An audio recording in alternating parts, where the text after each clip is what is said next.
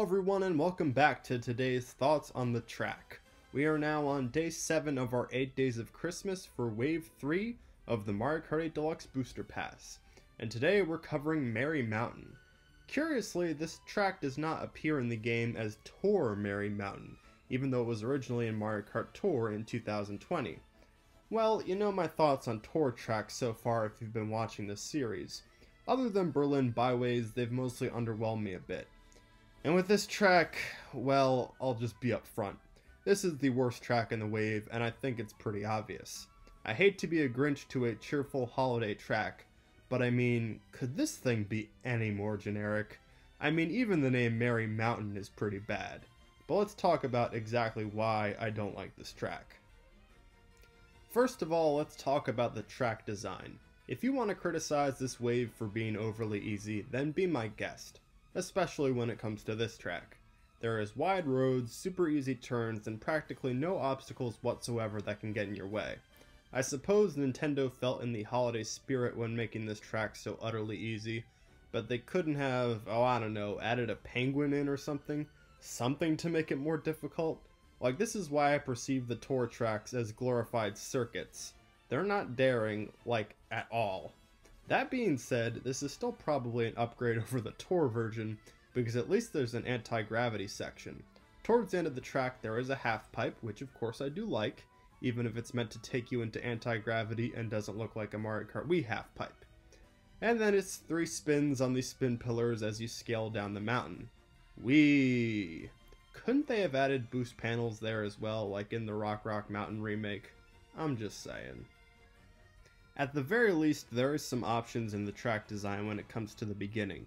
You have the less daring low path and you have the higher path which does involve a bit more risk, but there's speed boosts when you reach the top of it. I'd go up there every time if I were you. Again, this track has a very low difficulty level. In terms of track details, well, it's pretty, but in a very generic way. Like there's candy canes, trees, and houses. It's a cozy little village.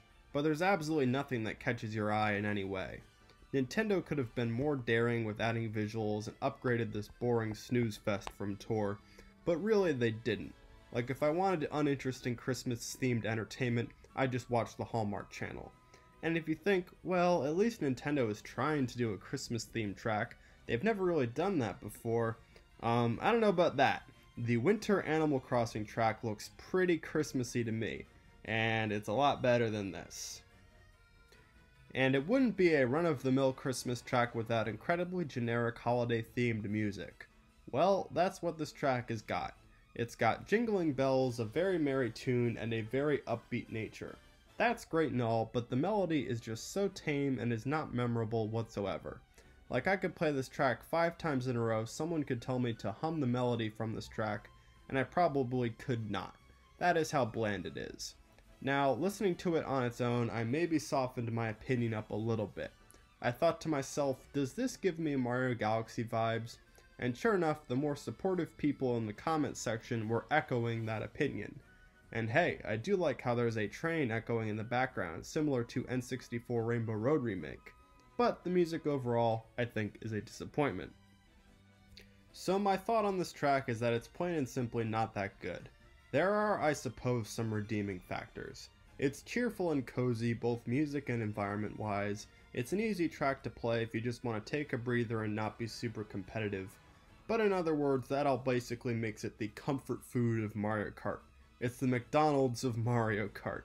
Its Christmas theme is just so trite in my opinion, and I think they did a much better job with the Winter Animal Crossing track than they did with this Mountain of Coal. 5 out of 10, and that's being generous. You will have much more fun playing any other tracks from this wave, and most other tracks from this game. So what are your thoughts on Merry Mountain? Do you have a more positive opinion than me? Let me know in the comments, and I will see you tomorrow with 3DS Rainbow Road. Bye bye.